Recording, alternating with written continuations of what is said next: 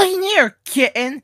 Look, I've been hearing a lot of nonsense for you, so I'm to show you something. What is it, Toad? Well, do you see this cup of water? Oh, I need that cup of water because I'm so thirsty. Okay, then come get it, you bedwetter. Ugh. Toad, how dare you spill water on my bed? Now it's all wet. That's it. You're grounded for four days. Go to your room now. Fine, because I don't want to be your slave anyway.